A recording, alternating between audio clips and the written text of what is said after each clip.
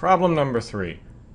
Write a program that's going to print a 10 by 10 rectangle of asterisks. Well, I've got this from problem number two, and I know that these top two lines are going to print me 10 asterisks. I go ahead and run that, and I've got my 10 asterisks. What I need is the ability to take these lines right here, these two lines that print 10 asterisks, and repeat those 10 times. That's easy enough. I can take those lines and put them in another for loop for j in range 10. And then I need to take these and indent them one tab stop.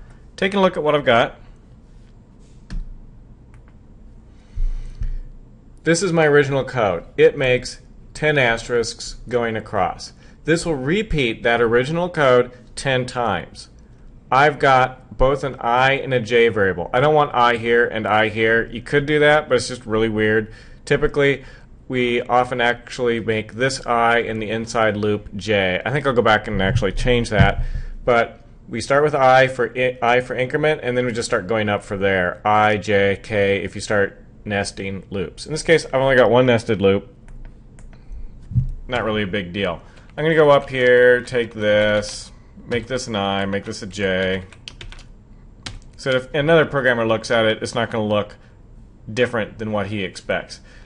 This is close to working. I hit, and oh, look at that. I've actually got 100, that is 10, and then I've done it 10 times, asterisks all on the same line. That is not what I want. I need to go to a new line. How do I go to a new line? Well, we know how to do that. Print, open, close parentheses. That takes us to a new line. Hit save, run the program. Oh man. Now what I have, I've got 100 asterisks up and down. I don't have a 10 by 10 grid by any means. If I take a look,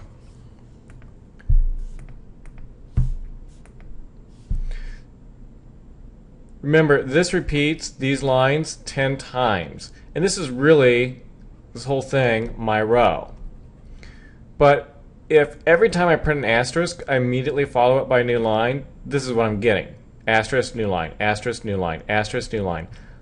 I don't want to put the new line until I've printed 10 asterisks. I need to take this and unindent it one tab stop. I don't want to unindent it two tab stops. That would be wrong. Let's see why.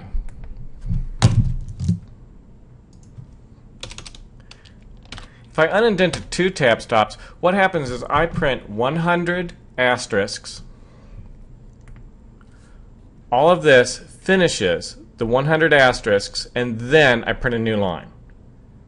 What I want to have happen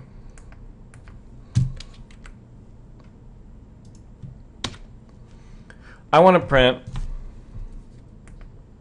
those 10 asterisks and then a new line. Repeat 10 asterisks, new line, 10 asterisks, new line. So I need this to line up with this for loop. Where you put that for, that last print, is a rather important part of how this works.